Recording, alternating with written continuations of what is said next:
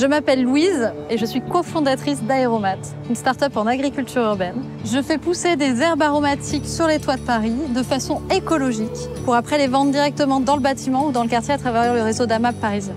Ce qui m'a donné envie de me lancer dans l'aventure Aéromat, c'est le côté euh, gastronomie et j'ai beaucoup de mal à trouver dans Paris des herbes aromatiques qui soient fraîches et goûtues. Donc l'idée c'était de se dire bah, je vais les faire directement sur les toits pour pouvoir les consommer le jour de la récolte et avoir quelque chose qui soit vraiment bon. Et en plus de ça, c'est vraiment de faire de l'agriculture urbaine et d'apporter en fait en ville une biodiversité à travers cette agriculture. Toute une faune va arriver et ça c'est vraiment super sympa d'observer tout ça sur Paris. L'agriculture urbaine ne prendra jamais la place de l'agriculture rurale et pour moi les deux peuvent coexister euh, de façon bénéfique.